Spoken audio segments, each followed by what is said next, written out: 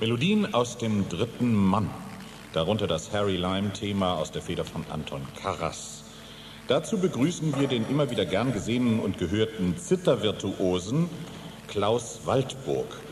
Kein Import aus den Alpenländern, sondern aus Nordrhein-Westfalen, aus Essen ist er. Das spart dem WDR dann auch viel Reisekosten. Danach Songs um einen meiner Lieblingsschauspieler, vom Stummfilm bis zum vollendeten Tonfilm, von der Wiege bis zur Bahre 1889 bis 1977 Charlie Chaplin. Sie hören aus seiner Notenfeder Smile aus Modern Times, Eternally aus Limelight und Love, This is My Song aus dem Streifen Die Gräfin von Hongkong.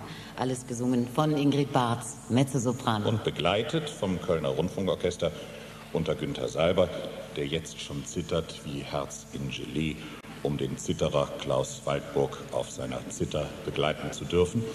Melodien aus dem Skatfilm Der dritte Mann.